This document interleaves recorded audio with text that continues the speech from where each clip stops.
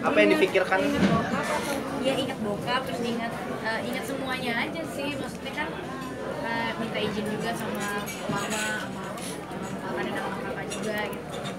Dan em, ya ketemu Jevin juga di saat yang tidak diduga-duga juga sampai akhirnya sekarang nikah gitu. Jadi ke flashback aja semuanya kumpul jadi satu kayak dirangkum gitu pada saat duduk di sana tadi terharu dan ya berterima kasih banget sama Allah sih udah meng-create Tapi yang jadi wali semuanya nikah ini.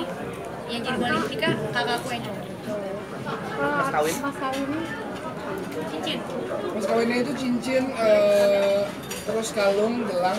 Ya Iya kan? cincin kalung Kalung gelang. berapa gram? Eh, emas dan berlian 10,06 gram. ada. Ada sih? ada makna maknanya. makna dari Tersendiri dari nggak ada? dari ada. di hari pernikahan kenapa netapin hari ini juga ada makna-makna Kalau hari ini itu kebetulan sebenarnya sih karena awalnya kita pengen bikin tanggal 28 Selamat aku awalnya tapi ternyata eh, harinya itu nggak bisa ya. Harinya bukan hari karena hari ini weekend. Karena kita kan weekend sampai akhirnya kita ambil di Mei. Minggu pertama itu adalah di eh, tanggal 7 Mei. Dan kebetulan juga 7 angka 7 itu angka kesukaan gue habis ini gimana? Mau bulan madu ke mana bulan madunya habis lebaran insya Allah Iya kita masih rencananya rencananya sih abis lebaran berangkat tapi kita masih nungguin visa dan segala macamnya gitu gitu lah tujuan mana ya? Mana? Eh, ada deh